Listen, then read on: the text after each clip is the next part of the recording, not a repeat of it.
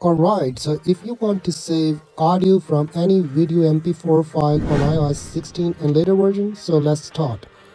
Just scroll down and find shortcut and in the shortcut press plus icon and here I rename this one as iOS 16 and later version as well. So just press on this one, choose any color which you like.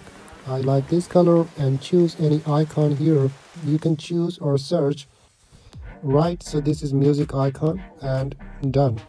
Now press this info button in the bottom and here you need to press show and share sheet all right so once you're done here press ok and now you need to press add an action just go to media and scroll all the way down and here under the video section you will see encode media. And if there is a thin line as you can see mm, between this continue and encode it means you are on the right track. Now press this little arrow in front of shortcut and here you will see audio only. Here are two options. One is M4A and then the other one is AIFF. These are the audio files. There is no MP3 but these are the audio files. M4A is high quality and the other one is if you want to bring this audio to your video editing or somewhere. And you can also change the speed as well. It's uh, 0.5 or 2x or custom but I will leave it up to normal speed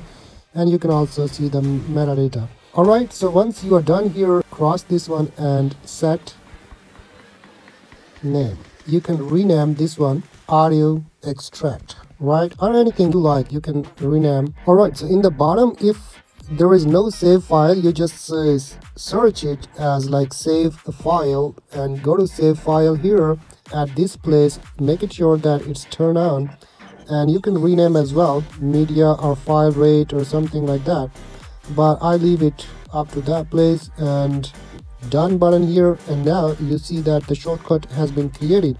Now you just go to gallery. And this one is an file and now you just go to share you see there is an extract iOS 16 as you did this one uh, in the end it was asking you to set the location. And you give the location of your folder in the file manager.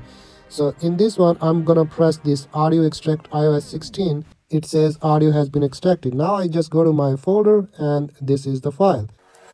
Alright, so play, this is the video file here. I play. Right. So this is how you can convert any video to audio file on iOS 16 and later versions. Thank you very much for watching and I'll see you in the next one. If you didn't subscribe, then subscribe this channel today.